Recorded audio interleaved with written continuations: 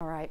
As the U.S. lifts those travel restrictions, one local school district is also lifting its mask mandate today. Newton County Superintendent Samantha Fuhrey announced the change is happening. She made that announcement over the weekend, saying that the decision came due to the recent drop in COVID cases in that area, but added that she will not hesitate to bring the mask requirement back if the numbers start to go back up. The mask mandate has been in place since August.